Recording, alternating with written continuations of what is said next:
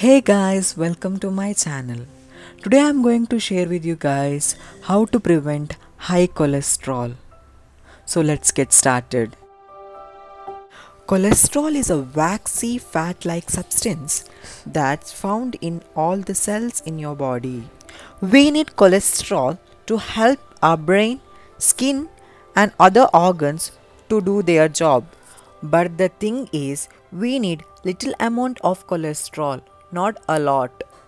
If the cholesterol is in high amount, it floats around our blood cells and get into the walls of the blood vessels.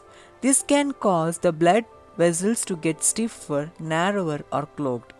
If the clogging gets worse over many years, it can cause a heart attack or a stroke in adults. Cholesterol also can start building up in childhood. If your cholesterol is in high level, you have to avoid butter, ghee, fatty meat and meat products such as sausages, full fat cheese, milk, cream and yogurt.